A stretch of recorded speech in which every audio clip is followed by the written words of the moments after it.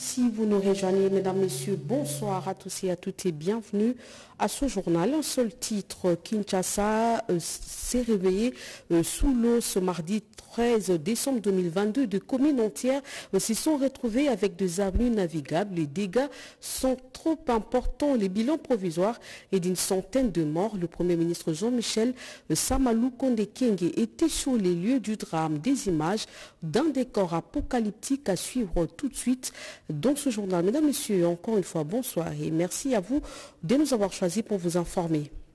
Un réveil brutal et très douloureux pour certains habitants de la capitale. Ce mardi, des communes entières se sont réveillées sous les eaux. De dizaines de personnes sont mortes, victimes de pluies diluviennes qui ont provoqué glissement de terrain et électrocution sans compter de dégâts matériels important. Les bilans est encore provisoire. Les images décrivent ce drame à Kinshasa et au Congo central. Cœurs sensibles doivent s'abstenir. Chabani. Des cris, des pleurs et des lamentations. Kinshasa s'est réveillé sous ces spectacles de désolation. C'est suite aux pluies diluviennes qui se sont abattues sur Kinshasa et Congo central de 2h à 7h du matin. Des dégâts étaient considérables. Les maisons écroulées, les éboulements des sols qui ont englouti les habitations et surtout la formation d'énormes érosions et des pertes en vies humaines. Ce sont là des dégâts de cette catastrophe naturelle les flots des ruissellements d'eau sur la route des Matadi, sur le tronçon Matadi-Kibala et en vrac, a entraîné une érosion importante qui a coupé la nationale numéro 1 en deux parties. Ceci va entraîner une forte perturbation du trafic sur cette route d'intérêt national qui relie la ville de Kinshasa à la province du Congo central. Cette route permet l'approvisionnement de la ville-province Kinshasa en produits vivriers et autres produits de première nécessité en provenance du Congo central, de l'Afrique australe et de l'Europe, dédouanés au port de Matadi et Boma et aussi aux postes frontières de Loufou entre la République démocratique du Congo et la République d'Angola. La partie est et centre de la ville de Kinshasa n'était pas épargnée. Les rivières Kalamu et Njili ont débordé, causant des inondations des maisons environnantes. Les postes SNEL haute tension des Funa situés à Limete et sous eau ce qui risque de causer l'interruption en alimentation en énergie électrique de quelques communes de Kinshasa. Nous citons Limete, Gombe, Kinshasa, Barumbu, Ngiringiri, Kasavubu, Lingwala et Kalamu.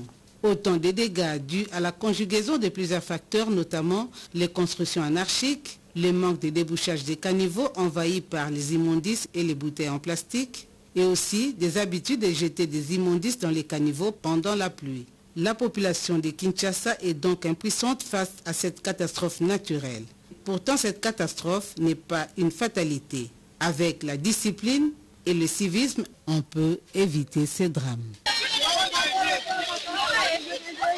La réhabilitation de la nationale numéro 1 coupée en deux après la pluie dont sa partie comprise entre le quartier euh, Matadimayo et Mitendi est imminente, a annoncé Jean-Michel Samaloukonde Kenge, le chef du gouvernement, a effectué une ronde aujourd'hui juste après cette pluie euh, pour s'en rendre compte de dégâts causés. Pati Tondouango, Marcel Moubengé, bienvenue au Salah.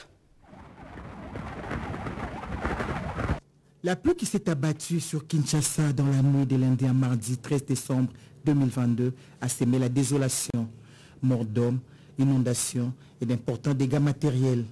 La nationale numéro 1, essentielle à l'approvisionnement et qui relie la ville-province Kinshasa à la ville portuaire de Matadi, coupée en deux dans son tronçon compris entre Matadi Kibala et Mitendi dans la commune de Mongafula ce qui n'a pas laissé indifférent le Premier ministre et chef du gouvernement, Jean-Michel Samaloukonde Kingé, qui, aussitôt informé, s'est rendu sur le terrain pour d'abord compatir à la douleur des familles victimes et évaluer l'ampleur des dégâts et prendre des décisions qui s'imposent. Les premiers dégâts que nous sommes venus évaluer, c'est d'abord les dégâts humains. Et donc nous sommes au regret de constater que dans euh, l'érosion, il y a malheureusement des résidences qui ont été emportés et nous avons euh, une indication de près d'une vingtaine euh, de morts et nous continuons encore les recherches dans les décombres pour avoir plus et euh, vraiment établir le dernier bilan.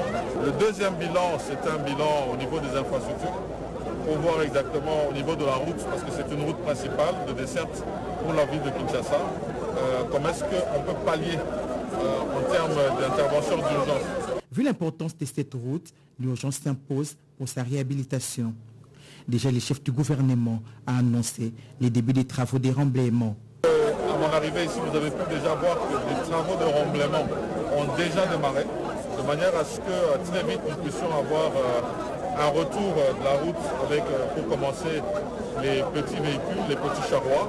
Et ensuite, nous allons faire un travail de plus grande envergure. Les petits charrois, ça devrait être dans les 24 heures que l'on pourrait revoir déjà le retour de la route où ils pourront passer. Mais le grand charroi, va nous falloir des travaux de génie civil qui peuvent prendre 3 à 4 jours et revoir la route être ouverte et permettre que l'on puisse avoir de nouveau une liaison entre Kinshasa et Matadi. Face aux constructions anarchiques dans les zones non édificantes qui sont souvent à la base des dégâts, Jean-Michel Samalou Konde Kiengi a sensibilisé la population riveraine. Une sensibilisation encore une fois de plus à la population, sensibilisation que nous faisons généralement aussi avec euh, la ville-province de Kinshasa, vous avez vu que nous sommes avec le gouverneur, sur euh, les zones non édificantes où on ne devrait pas avoir de constructions. Et c'est lorsque nous avons malheureusement ces constructions anarchiques que nous subissons ce type de revers qui pose énormément de dégâts.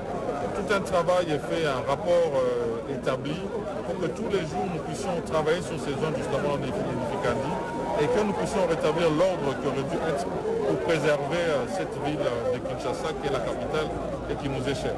Ont accompagné les premiers ministres, quelques membres du gouvernement, le gouverneur de la ville-province Kinshasa et les autorités de la police nationale congolaise. Après Mitendi, Jean-Michel Samalokonde Kienge s'est rendu sur d'autres sites où l'on signale des dégâts matériels et morts d'hommes.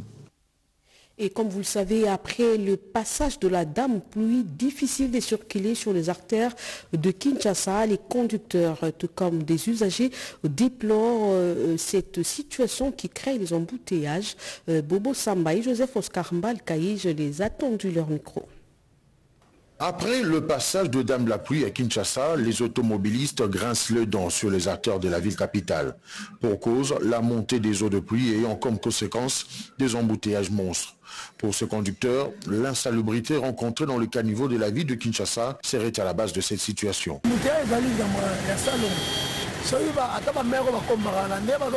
Le service commis à la salubrité de la ville dépose des immondices dans les caniveaux. Conséquence, les caniveaux sont bouchés.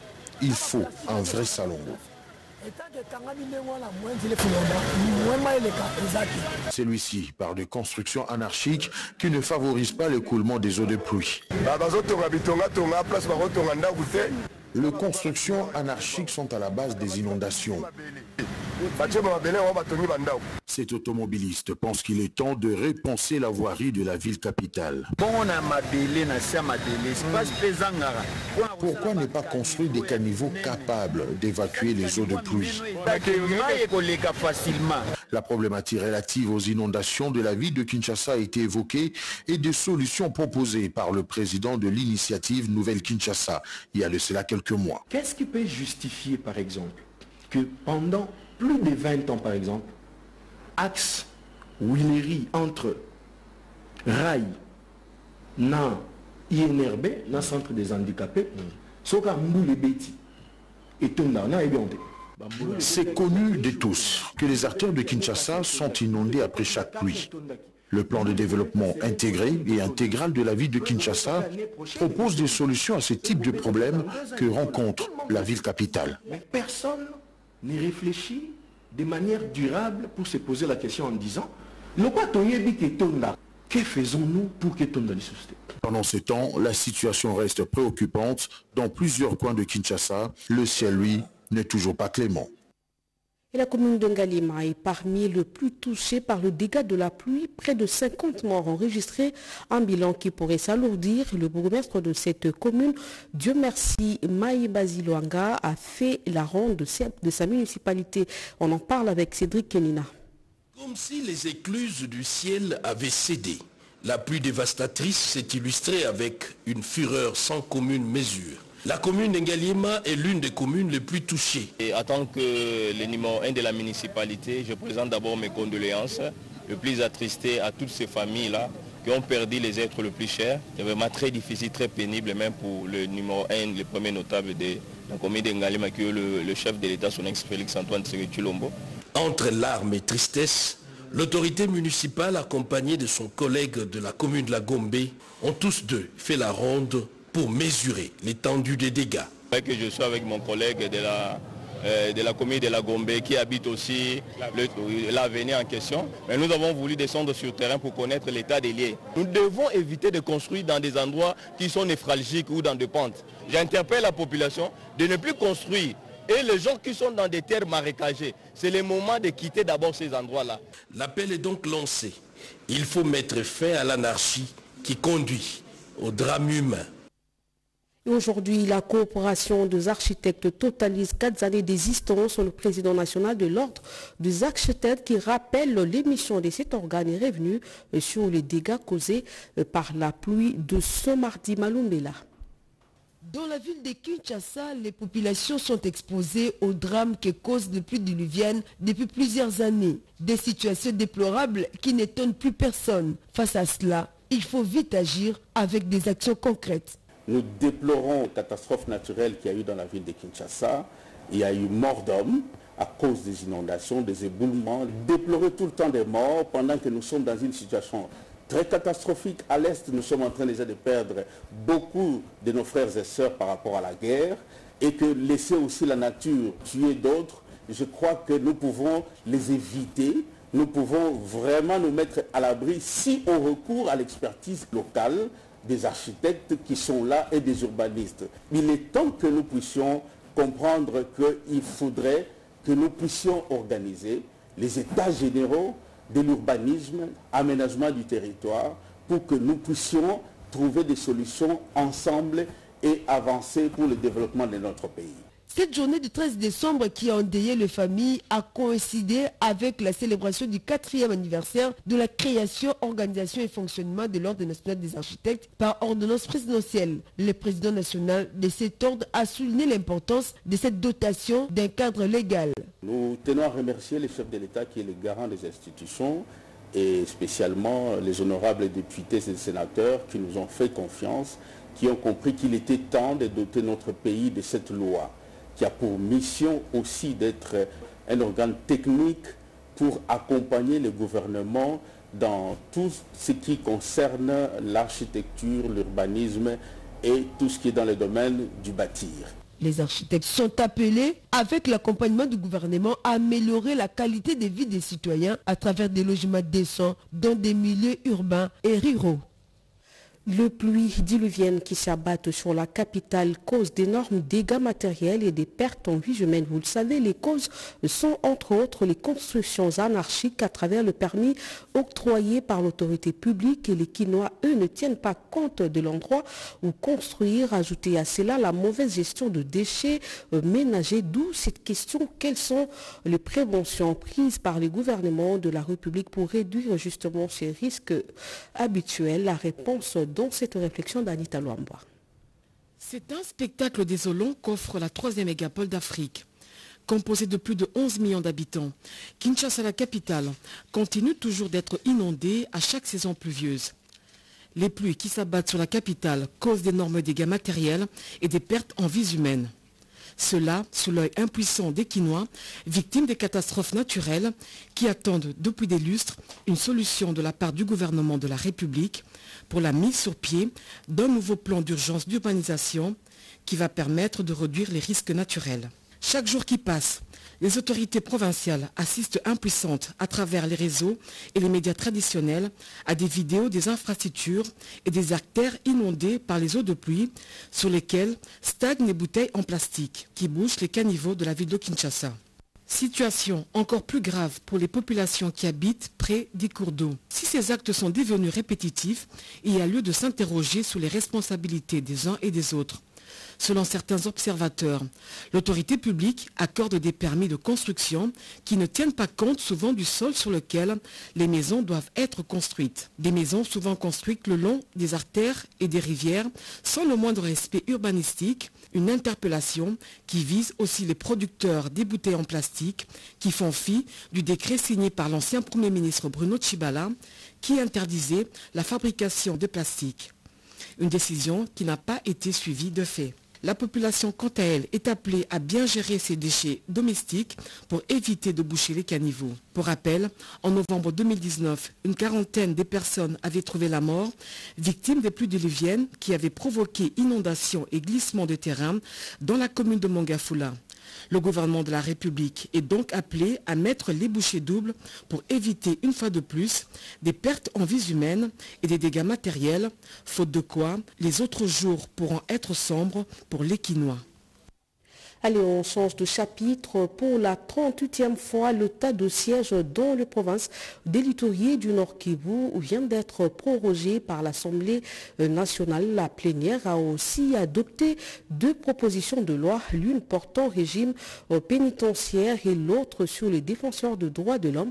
Les trois tests étaient renvoyés au Sénat pour seconde lecture avant sa promulgation par le président de la République. On en parle avec Sylvie Désormais, les défenseurs des droits de l'homme disposent d'une loi relative à leur protection. La plénière de la Chambre basse du Parlement du lundi 12 décembre 2022 qui conduisait le président Christophe Mbosoko Diapwanga a adopté à l'unanimité la proposition de loi sur la protection des droits des défenseurs des droits de l'homme.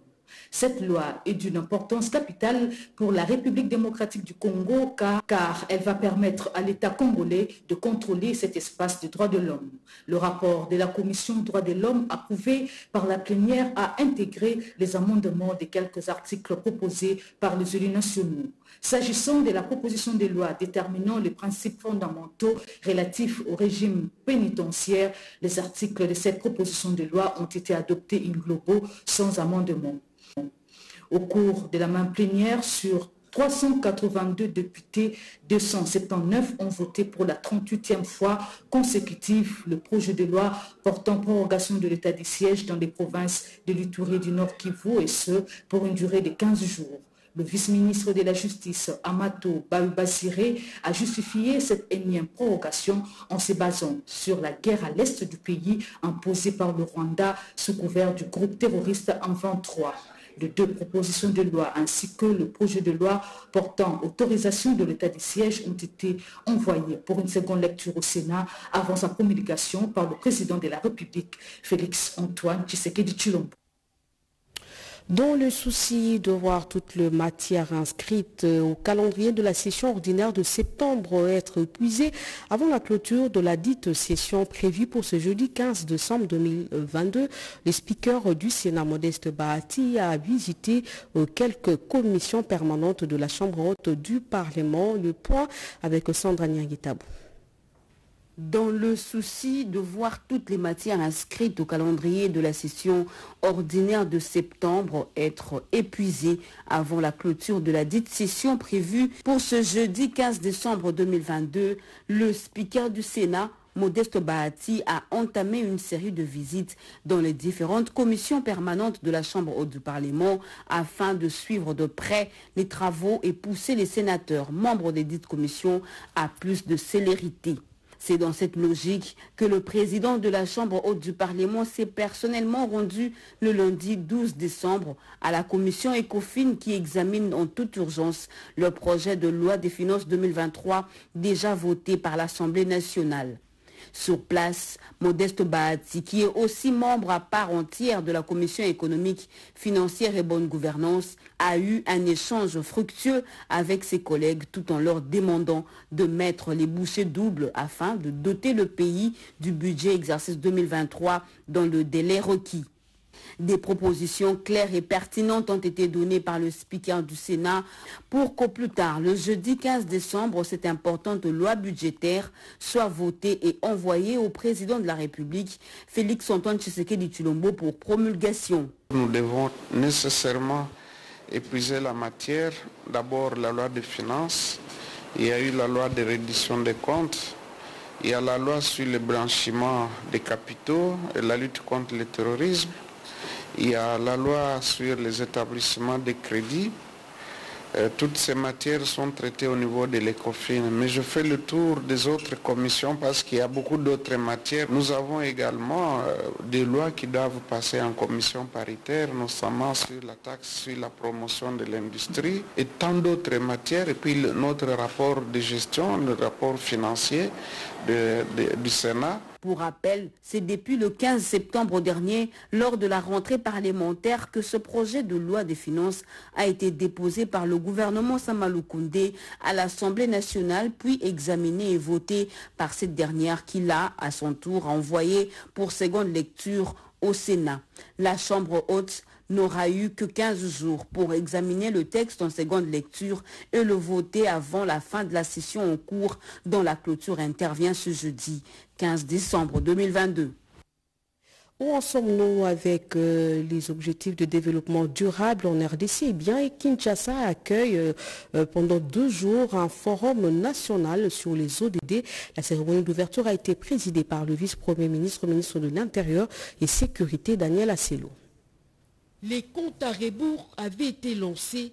La République démocratique du Congo et des autres pays membres des Nations Unies n'ont plus que moins de 10 ans pour atteindre les objectifs de développement durable dont ils sont signataires depuis 2015. Les forums national sur les objectifs de développement durable qui réunit les membres du gouvernement et quelques partenaires a pour objectif de faire une évaluation et aussi mettre en place de mécanismes nécessaires pour respecter le deadline accordé, les ODD 3 et 4 qui portent respectivement sur la santé et l'éducation de qualité sont les deux points qui seront particulièrement abordés à ces assises. Tout en saluant les politiques déjà mises en œuvre, le vice-premier ministre, ministre de l'Intérieur et Sécurité qui lance ces travaux a appelé les participants à bien réfléchir sur les actions accélératrices qui peuvent être entreprises en faveur des ODD qui rencontrent le gigantesque programme du chef de l'État de 145 territoires dont l'opérationnalisation est en cours et va à coup sûr contribuer à la réponse qu'il faut réserver dans l'atteinte des ODD. Croire Daniel Asselo Kitowakoy, les gouvernements Samalou Kondé restent déterminés à matérialiser la vision du chef de l'État qui va dans les sens de l'amélioration des conditions de vie de la population congolaise à la base, vision qui rime avec les ODD. Environnement avec Néné Maïzana qui nous propose ce reportage sur la mise en œuvre du partage de bénéfices générés par la vente de crédits carbone dans la province du Maïndombe du gouvernement congolais pour la réduction des émissions de gaz à effet de serre des Maïndombe commence à porter ses fruits à travers la vente des crédits carbone forestiers et c'est le projet de restauration des écosystèmes associés ERA Congo Wildlife Wars Carbon investi dans la conservation des forêts primaires avec les communautés riveraines. Résultat, 13 millions de crédits carbone vendus cette année. Conformément à la procédure d'homologation, les communautés ont reçu 25% des bénéfices ont investi dans les infrastructures, notamment les écoles, les hôpitaux, les forages d'eau potable pour éviter les maladies hydriques, l'éclairage public et des projets connexes pour l'intensification agricole et tant d'autres. Depuis longtemps, nous avions des écoles, mais qui n'étaient pas construites de cette façon. Maintenant, nous avons de beaux bâtiments et nous avons même un centre des d'État ici. On fonctionne bien. Il a pris aussi en charge tous les agents de cet institut. Il nous paye chaque fin du mois. Nous les femmes, nous sommes dans la joie pour la construction de cet hôpital. Les cas d'accouchement des femmes étaient graves. Ça nécessitait qu'on puisse aller en ville. Mais avec la tempête, cela empêchait que nous puissions traverser les lacs. La femme pouvait aussi mourir. Selenge Ibali Lobeke Bokebeni, Patambali, Mbale Songo, Ikita Lombe, Bosongo sont là des premiers villages bénéficiaires de cette vente de carbone. Ils ont sera ainsi chaque année. Et en début, 120 bus pour étudiants baptisés Trans Academia est arrivé à Kinshasa. Ces bus viennent pour faciliter la mobilité des étudiants congolais. C'est le ministre de Transport, Chérubin Okende, qui les a réceptionnés. Jean-Richard Koualé. Comme annoncé par le chef de l'État aux jeunes réunis au Palais du Peuple, un lot de 120 bus Transacademia sur les 600 commandés en Chine par le gouvernement congolais est arrivé à Kinshasa le dimanche dernier. Ces bus ont été réceptionnés par le ministre des Transports, Voies de Communication et des Désenclavements à qui le président de la République avait confié la lourde responsabilité de mettre en œuvre ce projet avec Félix Antoine Tshisekedi Chilombo, ce ne sont pas des promesses non tenues. Aujourd'hui, la preuve est là. Donc il y a lieu que nous accompagnions Transacademia jusqu'à euh, sa maturation, son opérationnalisation euh, concrète. En ce qui concerne le secteur des transports, j'ai reçu des instructions du président de la République pour permettre à ce que les étudiants soient transportés de manière décente. C'est au Palais du Peuple que ces bus neufs et climatisés sont stockés. Le ministre de Transport s'est entretenu avec les conducteurs venus de Transco, avec les techniciens de ce même établissement qui accompagne la naissance de la société sœur Transacademia. Dans les prochains jours, ces bus vont être remis officiellement au comité de gestion de la nouvelle société Transacademia par l'autorité compétente. À leur tour, les étudiants principaux bénéficiaires de ce don ont échangé avec le ministre Chéribin Okende. Par la bouche de leur président Christian Kalangi, ces étudiants ont remercié le chef de l'État pour la matérialisation de ce projet.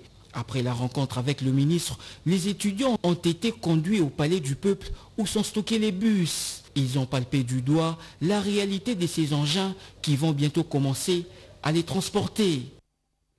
Son apport est considérable dans le secteur éducatif congolais. La start-up euh, SchoolApp annonce 12 autres innovations technologiques, le, e-cybercafé, le store, l'academia et autres pour encore évolutionner le système éducatif congolais. Les responsables de SchoolApp l'ont annoncé au cours d'une conférence de presse, nous dit Toto et Célestine et Passion Semboyo dans le système éducatif congolais, tant au niveau de l'enseignement des bases qu'aux universités, ont été présentés à la presse. Le cofondateur et gérant de l'application SchoolApp en République démocratique du Congo revient sur la portée de cette contribution au rayonnement de l'enseignement en RDC. Guy José Leta a à cette occasion présenté la charte graphique de cette innovation assortie des logos et des couleurs adaptées. Les 12 innovations viennent pour améliorer ce que nous avons fait depuis tous ces temps. Et nous sommes très fiers parce que eh, impacter la connaissance, l'apprentissage des jeunes Congolais, où qu'ils se trouvent, qu'ils soient en province, qu'ils soient eh, dans la capitale, dans des zones rurales, péri-rurales, deep rurales, c'est un motif de satisfaction et de fierté. Parce que euh, pas seulement que nous accompagnons ce que le gouvernement a fait, mais nous-mêmes aussi, nous voulons un peu apporter un plus dans ce qui est déjà faisable, qui se fait déjà d'habitude. Nous sommes dans 60 provinces éducationnelles, c'est pas rien. Les 60 provinces éducationnelles sont tellement proches des écoles, avec les IPP, nous travaillons. Mais après, nous travaillons à ce que notre technologie soit capable hein, d'arriver même là où il n'y a pas l'Internet, même là où il n'y a pas l'électricité. Le coordonnateur adjoint de l'Agence pour le développement du numérique, Jeff Chimala Titenge, a, lors de cette conférence de presse, salué des innovations de la start-up SchoolApp qui s'inscrit dans le combat mené par le chef de l'État pour assurer l'enseignement de qualité en RDC. L'escaltation des missions régaliennes et des attributions de l'inspection générale de finances, sujet au cœur de la matinée scientifique et de réflexion organisée à l'Institut supérieur de pédagogie dans la commune de la Gombe. C'était pour euh, le processus de lutte contre la corruption contre toute forme et sorte de corruption à longue échelle, fléau économico-social qui gangrène certaines structures et sphères décisionnelles du pays, telle était l'une des orientations phares poursuivies par certains hommes de sciences congolais au cours d'une matinée scientifique organisée en marge de la journée mondiale de lutte contre la corruption, célébrée dernièrement en République démocratique du Congo. Belle opportunité pour ces éminences grises de cristalliser les missions régaliennes de la sentinelle financière en République démocratique du Congo. La mission de l'IGF sa manière de fonctionner, c'est vraiment la vision du chef de l'État. Et cette vision se résume à la lutte contre la corruption, le détournement des deniers publics, afin de permettre à l'État d'avoir les moyens de son fonctionnement. J'ai de respect envers euh, Jules Alinghetti, sentinelle de la République. Et l'IGF a commencé à entreprendre ses activités en rapport avec le déploiement de ses agents sur le terrain. Cette méthodologie adoptée par l'IGF, c'est une méthodologie qui a donné des résultats escomptés. Fort de toutes les missions et attributions régaliennes de l'inspection générale des finances, divers étudiants finalistes en filière économique et financière se sont engagés à orienter leurs travaux de fin de cycle et mémoire autour de la pertinence de cette structure rattachée à la présidence de la République. Et puis Richard Kalala Keren Kankolong et Grace Maoso nous parle du dénouement de l'affaire ministère public contre le professeur Antoine Kitombele pour usurpation de pouvoir contre le professeur Bokolo pour mégestion au tribunal des grandes instances de maths été regardé. Sur l'affaire ministère public contre le professeur Antoine Kitombole pour usurpation de pouvoir et contre le professeur Bokolo pour mégestion, le tribunal de grandes instances Kinshasa Matete a renvoyé l'audience au lundi 19 décembre 2022. Procès qui s'est vu décalé à une date ultérieure suite à la demande formulée par la partie Bokolo empêchée. Mais pour le camp Kitombole, l'audience devrait toutefois avoir lieu compte tenu de la non-conformité des dossiers inculpant les deux parties. Cette affaire concerne les membres de la PEKIN, parce qu'ils sont tous des professeurs et ils sont en train d'enseigner. C'est pour cette raison qu'il a tenu à ce que vous, la presse, vous soyez présents afin d'être le relais. La bonne application sereine et juste de la justice aurait dû être que le tribunal acquiesce à notre demande, entende cette cause et déclare cet homme innocent des poursuites qui sont diligentées contre lui. C'est ici le lieu de rappeler que c'est depuis le 25 février 2022 que le professeur Antoine Kitombole est en détention. Pourtant, la partie civile de l'association de professeurs de l'université de Kinshasa dit approuver la décision du tribunal des grandes instances de Kinshasa, Matete. On va prendre tout d'abord ces communiqués qui vient de nous parvenir de la présidence de la République, son Excellence, Monsieur le Président de la République, chef de l'État, Félix Antoine Tshisekedi Chilombo a été informé de dégâts humains et matériels consécutifs à la pluie diluvienne qui s'est abattue sur la ville de Kinshasa dans la nuit du 12 au 13 décembre 2022 depuis Washington où il se joint dans le cadre de sa participation au sommet États-Unis-Afrique. Le chef de l'État est profondément attristé et, peine, et peiné de la perte de plusieurs de nos compatriotes et de la désolation qui en résulte dans les familles respectives. Son Excellence, Monsieur le Président de la République, a une pensée particulière pour chacune des familles éprouvées auxquelles il adresse ses sincères condoléances.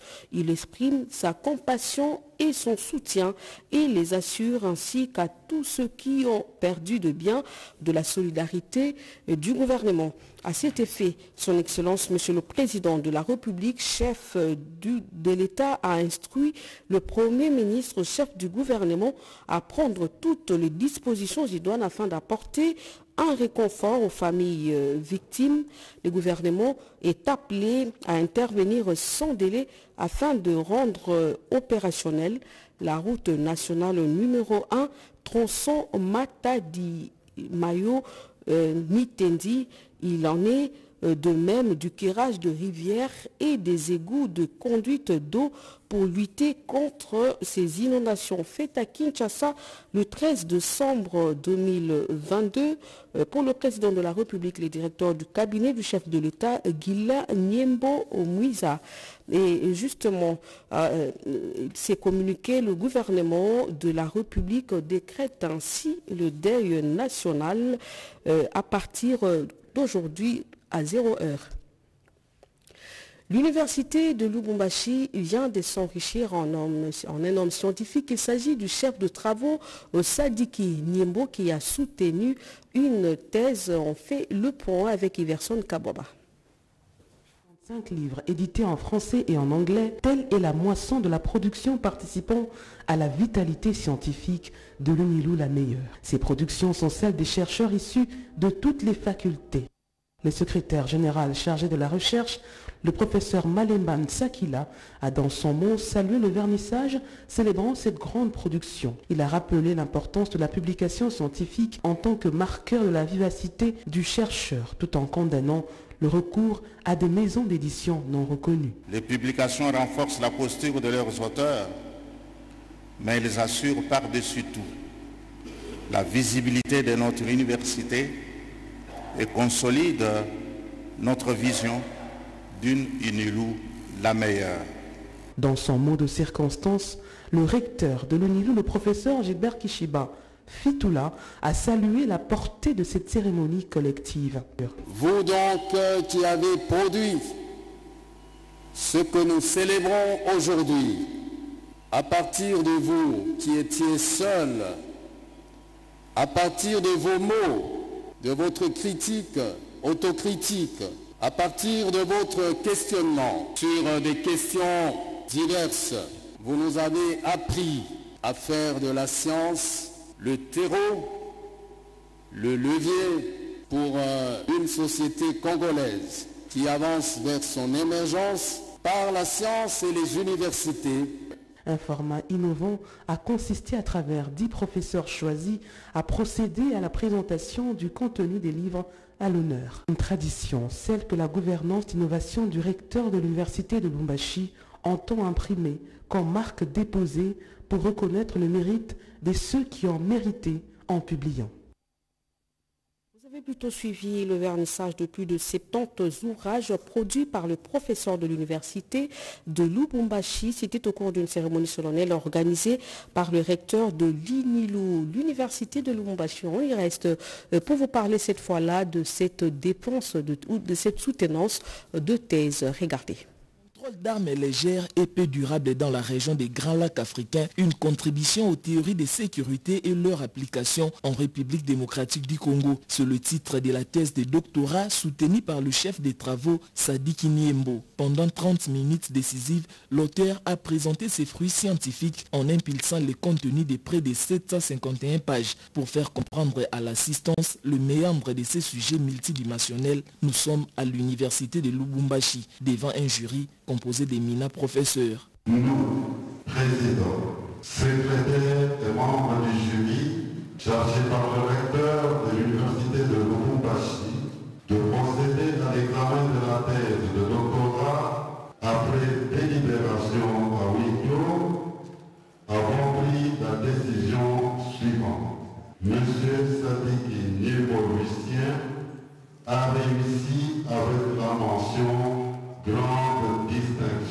Le chef des travaux Sadi Niembo est désormais en passe d'être docteur en relations internationales.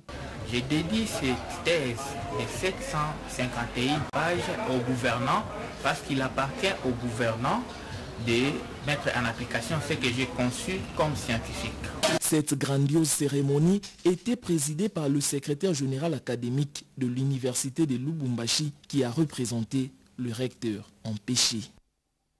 Enseignement supérieur et universitaire toujours levé de mesures de suspension dans six universités du pays ayant répondu aux normes pour l'organisation de la faculté de médecine. C'est parmi les décisions prises au cours du Conseil national de l'ordre de médecins tenu à Kinshasa. Rodé Panda nous en dit un peu plus réparer une chaise mal fabriquée de la vie humaine fauchée. En médecine, si le prestataire de soins n'est pas bien formé, cela appelle à des catastrophes. Voilà qui justifie la suspension de plusieurs universités non viables en RDC par le ministère de l'enseignement supérieur universitaire en collaboration avec l'Ordre national des médecins, raison pour laquelle est organisé à travers les pays des tests d'admission au tableau de l'ordre depuis quelque temps.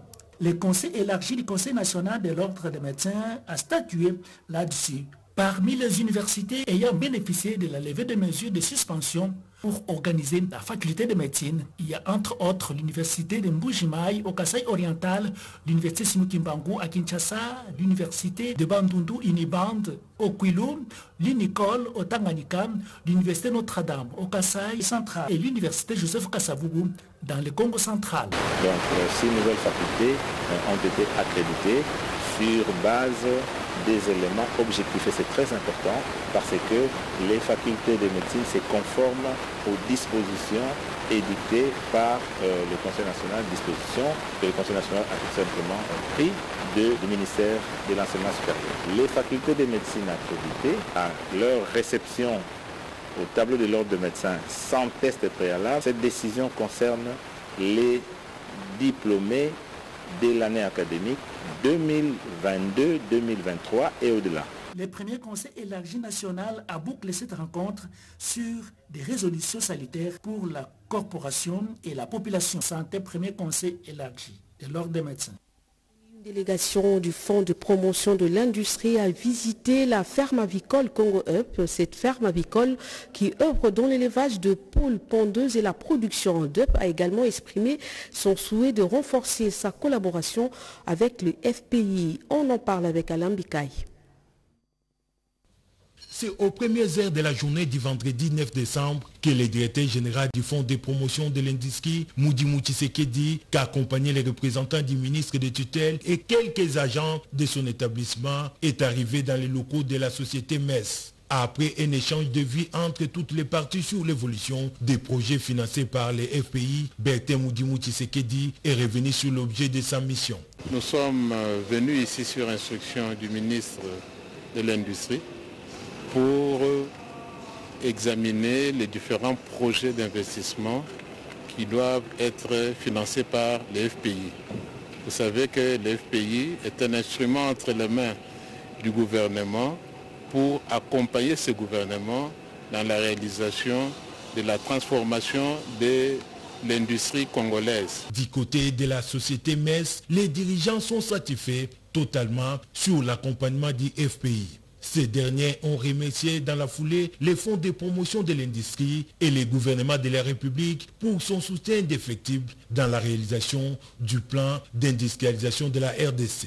Il s'y est dénoté que la société MES est présente en République démocratique du Congo depuis près de 30 ans. Elle s'est spécialisée particulièrement dans les secteurs miniers et agro-industriels avec l'aide du Fonds de promotion de l'industrie, elle compte capter les opportunités de croissance, notamment dans les secteurs miniers et agro-industriels où les besoins en intra et en matériel se font de plus en plus sentir au vu de la croissance démographique et celle de la consommation. En se rendant la province du Haut-Touélé, les problèmes sociaux perturbent le bon fonctionnement de la Sokimo en ce jour à Ouacha. Le comité de gestion de la Sokimo avec en tête le directeur général et le président du conseil d'administration ont prêché l'unité et l'amour du travail pour garantir la relance des activités au sein de cette société minière. Christine Lanzo et Simon Kakolongo. En séjour à Ouatta, dans les Hautes-Touélé, les travailleurs de la Sokimo SA de la direction d'exploitation moto ont à leur tour rencontré le DG Pistis Bonongo Tokole, occasion pour eux d'écouter son message en réponse à la situation qui règne dans cette entreprise de l'État et les rôles que son équipe et les conseils d'administration sont appelés à jouer pour rendre effective la reprise des activités dans les différents sites d'exploitation d'or, dans l'agro-industrie, la menuiserie Il y a des difficultés certes, mais après avoir été sur terrain, les nouveaux dirigeants de la Sokimo se disent déterminés à relever les défis. Le DG Bonongo Tokole a été relayé par le DGA Joseph Makanda, appelant tous à travailler dans l'unité. Même message d'espoir apporté par les doyens des administrateurs, Florent Lébé. Selon les directeurs d'exploitation moto Fortuné Bassolené, la Sokimo SA est dépouillée de ses exploitations minières dans les Hautes-Ouélé. Continue quand même à maintenir son service médical, agricole et des menuiseries héritées de l'époque coloniale. Il y a nécessité de renouveler les équipements. L'agro-industrie de la Sokimo SA ne reste que des noms, car dépouillée de ses têtes de vaches durant les différentes rébellions. La délégation a ensuite visité les ateliers d'électrochimo. Les machines en panne doivent être réparées, également quelques transformateurs. Un autre constat sur terrain, la spoliation des espaces de la Sokimo par certains particuliers ayant construit à l'intérieur de ces sites. Juste après, le directeur général a visité les différents bureaux, les services de la géologie. À l'issue de cette visite, Pistis Bonongo Tokole a appelé tous à se mettre au travail et de privilégier l'intérêt général. Le conseil d'administration de la SECIMO, a-t-il ajouté, est déterminé à remettre l'espoir chez les travailleurs en redressant la SOKIMO pour qu'elle retrouve ses positions de grandes opératrices minières, comme le souhaitent le président de la République, Félix Tshisekedi, et le gouvernement de la République?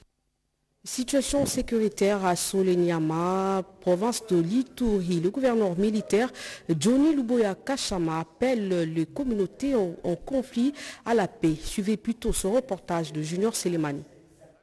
Étant restaurée à Soloignama et environ par les forces de l'ordre après deux tensions communautaires il y a quelques jours, le gouvernement militaire salue la détermination de la population de cette contrée à résister contre des manipulateurs à la base de psychose. La population n'est pas sur ce schéma-là. Ça fait six mois au moins que la population est en train de goûter à cette paix. Elle n'en veut plus, elle, ne veut plus de ce désordre-là. On a fomenté des rumeurs et des rumeurs. La population est restée. Et, donc moi, en tout cas, je félicite cette euh, population. Euh, la population est avec nous, je la félicite et je demande encore une fois de ne pas accepter d'être manipulée. De ne pas accepter ces rumeurs-là qui tombent comme ça pour faire peur, créer la psychose. Dans une interview ce vendredi, le lieutenant général Louboyanka Johnny met à garde le fauteur de troubles. Hein, on ne s'amuse pas, il y a des gens qui veulent toujours se faire passer pour je ne sais quoi. Là, voilà, on est victime, on a fait ceci. Mais vous, vous osez, vous osez euh, amener l'insécurité ici. Nous allons répondre. Et nous allons répondre avec la plus grande vigueur. Là, je ne ris pas. Ils doivent savoir qu'à la moindre incartade, ah, mais nous, nous, allons, nous allons utiliser la force. C'est comme ça. Depuis lundi, le commandant de la 32e région militaire et l'administrateur militaire du territoire d'Irumu ont été dépêchés à Solenyama et les villages environnants à la sortie nord de la ville de Bounia pour des meetings populaires et des échanges afin de conscientiser les communautés sur la cohabitation et la résolution pacifique de tout différents. Les forces de sécurité et de défense ont été renforcées sur terrain pour imposer l'ordre Rassir, le commandant des opérations militaires en Ituri, le lieutenant général Luboyanka Jouni. Bonne nouvelle pour les innombrables auditrices et auditeurs de la ville de Bouta. Le gouverneur de province qui réalise sa promesse vient de doter cette station provinciale d'un studio et de quelques équipements. Suivez. Double cérémonie ce week-end à la RTNC station provinciale du Bazuélé. Il s'agit de la remise officielle des équipements et lancement des activités de la radio locale de RTNC Bouta par le gouverneur, le professeur Jean-Robert Zanzabombiti. Devant plusieurs personnalités venues pour la circonstance, le directeur provincial de la RTNC Bazuélé, Patrick Ali a tout d'abord exprimé sa gratitude à l'autorité provinciale pour son œuvre d'intérêt public au bénéfice de la province avant de donner un aperçu historique de RTNC Bazuélé. La station provinciale de radio et télévision congolaise Bazuélé, passée par plusieurs vicissitudes, est aujourd'hui devenue, grâce à la vision machinariale, son Excellence et Monsieur le Gouverneur, le professeur docteur ingénieur Jean-Robert Zantabombiti, vous remercions très vivement de l'acte inoubliable que vous venez de poser à l'égard de la chaîne publique, acte qui restera gravé en lac indélébile dans les annales de la RTNC et de la province du Bazuélé. Avant de procéder à la coupure du ruban symbolique et à la remise des clés au directeur provincial de RTNC Bazuélé,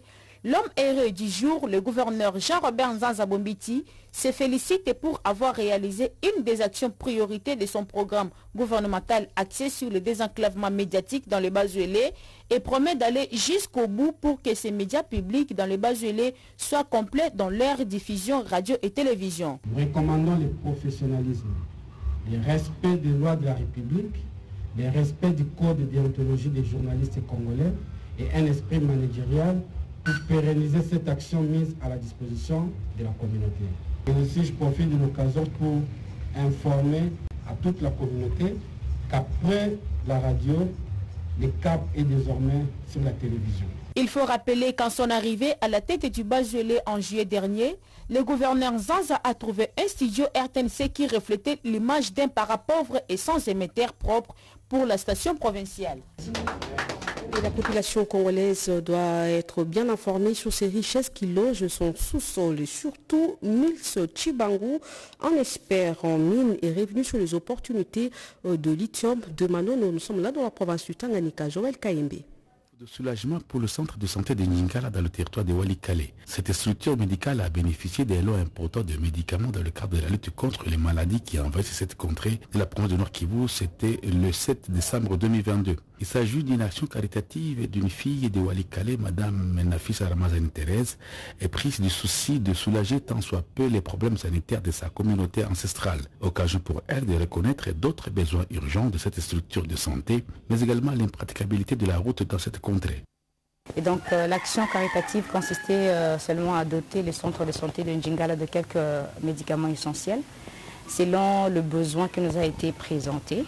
Et donc selon les moyens à, notre disposition, nous avons pu réunir quelques médicaments selon le besoin présenté et apporter à l'hôpital avec espoir que ça va soulager tant soit peu quelques malades et avec espoir que d'autres personnes pourront emboîter les pas et pourquoi pas nous-mêmes refaire le même geste, euh, tout comme euh, nous venons de visiter tout à l'heure le centre de santé. Les besoins sont énormes et euh, petit à petit, on peut voir ensemble avec le personnel comment résoudre tant soit peu ce, quelques problèmes. Sentiment de remerciement pour le président du comité de ce centre de santé de Nchingala, M. Jacques, qui pour lui, ce geste contribue à aider cette communauté locale.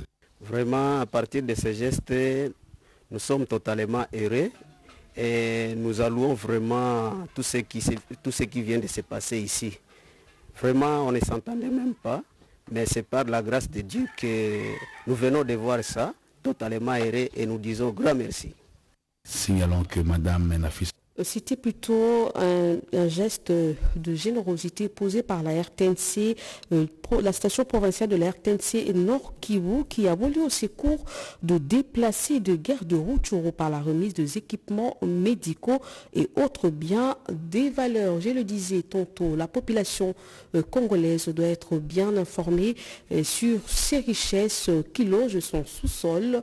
Mills Chibangwan espère en mine, lui est revenu sur les opportunités qu'offre le lithium de Manono, dont la province du Tanganyika. Joël Kaimbe. Les affaires en mine, la transparence et la transition énergétique, c'est possible. Glencore en a fait la preuve lors de cette quatrième édition de la conférence annuelle tenue au Capitole de Rotana. En présence du directeur des cabinets du chef de l'État, Guilain Nyembo, députés et sénateurs, ainsi qu'autres représentants des missions diplomatiques, la vice-présidente de Glencore RDC, Chantal Kaninda, a vanté les investissements du groupe en cette année 2022, reconnaissant avoir payé en trois ans plus de 2 milliards de dollars d'impôts et taxes. Kamoto Copper Company, KCC et Mutanda Mining, des valeurs de transparence, de simplicité sans être exhaustif et des interventions communautaires éloquentes, des écoles réhabilitées, des soins de santé garantis, l'eau courante pour les communautés riveraines. Un panel qui a mis en face intervenants et participants sur la transition énergétique a dissipé plusieurs zones d'ombre. Sur la polémique de plus de 180 millions de dollars dus à la République démocratique du Congo, les explications ont été données. Le gouvernement congolais, au travers euh, du Sénarep, euh, a eu à nous contacter. C'est volontairement que nous nous avons engagé avec le gouvernement et que nous avons accepté de payer euh, ce montant de 198 millions de dollars.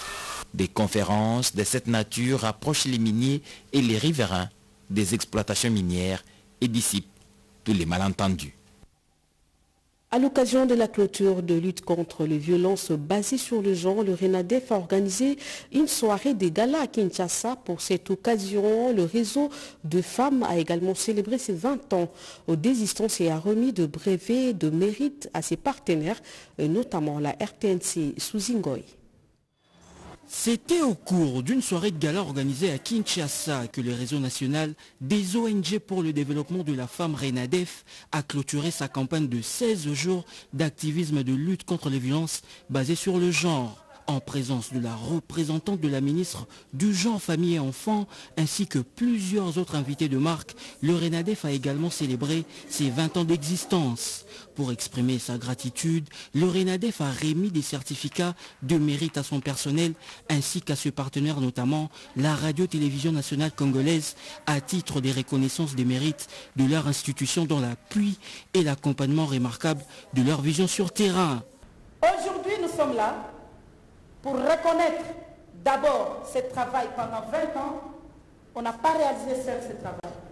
Je dois être reconnaissant ce soir que ce travail, s'il a été réalisé, c'est grâce aux partenaires techniques et financiers qui ont compris que j'avais une vision, il fallait qu'ils m'accompagnent. C'est pour aussi faire le plaidoyer pour que le partenaire qui était déjà avec nous continue encore à repenser autrement par rapport à ces partenariats. Et mon équipe qui a été avec moi continuons à consolider cette vision parce que parfois, même dans des conditions difficiles, nous sommes là en train de travailler. Une collecte des fonds a été levée au cours de cette cérémonie pour les déplacés des guerres, les militaires au front, les victimes de violences dans l'Est et aussi pour les victimes des conflits dans le Maïndombe. La population de Kindele dit non à l'agression rwandaise. Pour ce faire, ils ont organisé un championnat dénommé Kindele Challenge pour montrer leur soutien aux forces armées de la République et aux chefs de l'État. Une activité organisée par le directeur du cabinet de la ministre de l'Environnement Chimène Dondo et Francine Atomissi. C'est dans un stade qui a refusé du monde que les deux équipes, Tatapuna et Monastère, se sont affrontées en marge de la finale de la première édition du championnat Kindele Challenge, une rencontre qui s'est soldée par un score d'un but à zéro en faveur de Tatapuna, qui a remporté une coupe et une enveloppe de main de l'initiateur Yves Kitumba, directeur à la vice-primature de l'environnement et développement durable qui promet le leadership de relève devant les cadres et militants de son parti ainsi que les notables de Kindele. Tout comme à l'ouverture, le coordonnateur de la GIC, affectueusement appelé Papa Lukunga, a eu de mots justes pour exhorter l'assistance. Ce message du président de la République relayé par euh, le chef du parti Jean-Pierre Bemba est bien capté par la population. Ce message, c'est l'unité nationale, la cohésion nationale pour barrer la route à cette agression contre notre pays, unir les esprits pour garder la souveraineté de notre pays. C'est un message d'encouragement à la jeunesse. Vous savez que le football unit les, les populations et nous sommes aujourd'hui unis au-delà de nos divergences d'approche. Le deuxième message, c'était de demander à la population de s'enrôler massivement pour sauvegarder l'intérêt de notre pays. Pour lier l'utile à l'agréable, c'est au cadre du MLC, Yves Kitumba a offert aux habitants de Kindele leurs artistes préférés, Bunafile et Marshall Dixon, qui ont livré tour à tour un concert en live à la grande satisfaction de l'assistance.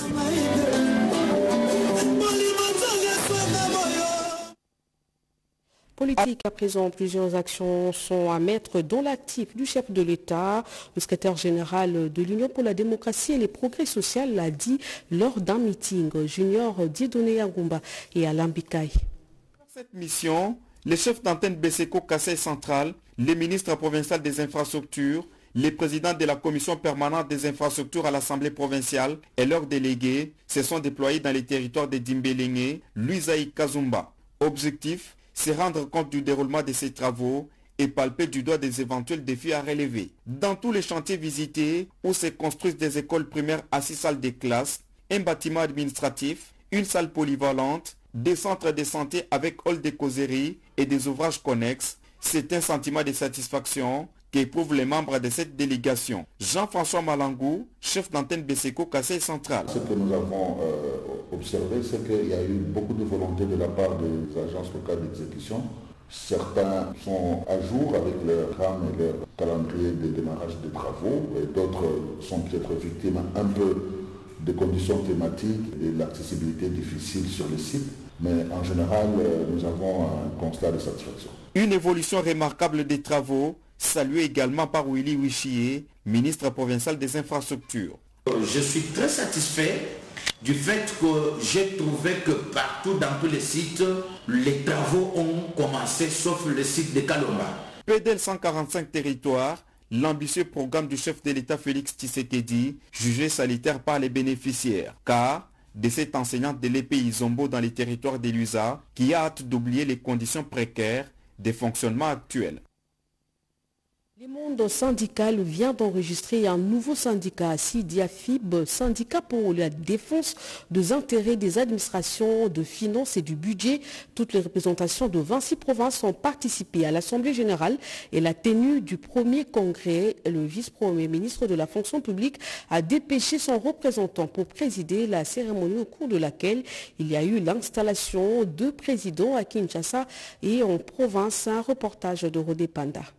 Défense, protection des droits et avantages des agents et fonctionnaires de l'État. Désormais, il faut compter avec nouveaux syndicats pour la défense des intérêts des agents et cadres des administrations de finances et du budget. SIGAFID, nouveau syndicat au sein de l'intersyndical de l'administration publique INAP, créé sous l'impulsion du camarade Nicolas Ngonga, président. Il va fonctionner au sein de ces deux portefeuilles de l'État, le budget et les finances. Une cérémonie de sortie officielle doublée du premier congrès a été organisée pour mettre en place le nouveau staff dirigeant à Kinshasa et en province avant les élections. C'était avec la participation des différentes représentations de toutes les 26 provinces. Les présidents du SIDAFID et tous les membres sont impatients de l'organisation des élections syndicales au sein de l'administration publique pour apporter le nouveau souffle. Ils en appellent à l'autorité du vice-premier ministre, ministre de la fonction publique.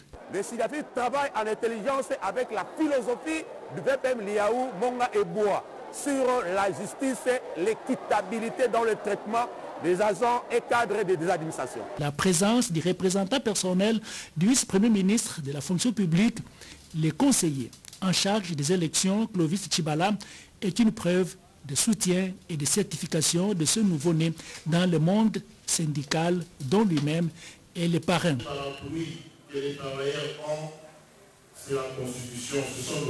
La justice distributive, l'équité, la légalité, des principes qui vont caractériser et servir de fil conducteur pour Sidiafib dans ces combats. Après cette cérémonie, une formation syndicale a été organisée pendant trois jours, centrée sur du module, notamment les faits syndicaux, l'historique du syndicat, les élections syndicales et autres. Ce journal est terminé. Avant de nous séparer, ce communiqué émanant du président euh, du cabinet du président de la République, euh, son Excellence, Monsieur le Président de la République, chef de l'État Félix Antoine Tshisekedi Chilombo a été informé de dégâts humains matériels consécutifs à la pluie diluvienne qui s'est abattue sur la ville de Kinshasa dans la nuit du 12 au 13 décembre 2022 depuis Washington où il séjourne dans le cadre de sa participation au sommet États-Unis-Afrique. Le chef de l'État est profondément attristé et peiné de la perte de plusieurs de nos compatriotes et de la désolation qui en résulte dans leurs familles respectives. Son Excellence, Monsieur le Président de la République, a une pensée particulière pour chacune des familles éprouvées auxquelles il adresse ses sincères condoléances. Il exprime sa compassion et son soutien et les assure, ainsi qu'à tous ceux qui ont perdu de bien de la solidarité du gouvernement. À cet effet, son Excellence, Monsieur le Président de la République, chef de l'État, a instruit le Premier ministre chef du gouvernement à prendre toutes les dispositions idoines afin d'adopter un réconfort, afin plutôt d'apporter un réconfort aux familles de victimes. Le gouvernement est appelé à intervenir sans délai afin de rendre opérationnelle la, route nationale numéro 1 tronçon compris entre Matadi, Mayo et Mitendi. Il en est de même du curage de rivières et des égouts de conduite d'eau pour lutter contre ces inondations faites à Kinshasa le 13 décembre 2022. Guilain Niembo Bouiza et euh, justement, euh, le gouvernement de la République euh, décrète le deuil national de trois jours à partir de ce mercredi 14 décembre, à suivre d'un peu sur les antennes de la radio-télévision nationale congolaise la communication du gouvernement avec le vice-premier ministre, ministre de l'Intérieur et Sécurité Daniel Asselo Okito Wakoy. Et puis, cet autre communiqué nécrologique, les diocèses de Kikwit à la profonde douleur d'annoncer la triste nouvelle du décès de son Excellence Monseigneur Marie-Édouard Mounounouka Kassiala, évêque émérite de Kikwit, décès est survenu le 5 décembre 2022 à Bruxelles. Le programme des obsèques se présente de la manière ci-après. Mercredi 14 décembre 2022, arrivée de la dépouille de Bruxelles à Kinshasa et exposition du corps à la cathédrale Notre-Dame de Lingwala. 22h à l'aube, veillée mortuaire au même endroit, jeudi 15 décembre 2022, 10h30, messe d'action de grâce 13h30, départ de la cathédrale Notre-Dame de Lingwala vers l'aéroport de Ndolo pour Kikwit, samedi 17 décembre 2022 à 12h, animation à la cathédrale de Kikwit.